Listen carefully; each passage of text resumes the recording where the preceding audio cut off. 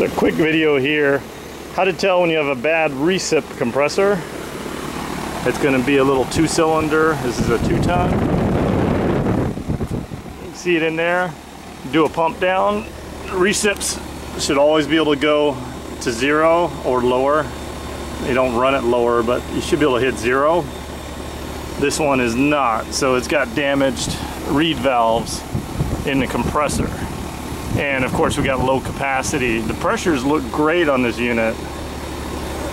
The high side, the low side, superheat, subcooling, but low capacity.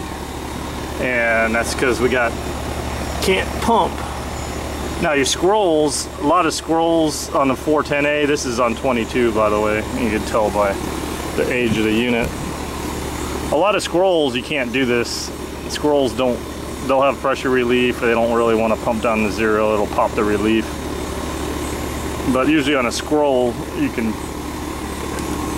you can get away with doing this test to kind of tell you. But on recips, this is really best for recip compressors. So that compressor is bad. Hope you like watching the video. Thanks for watching.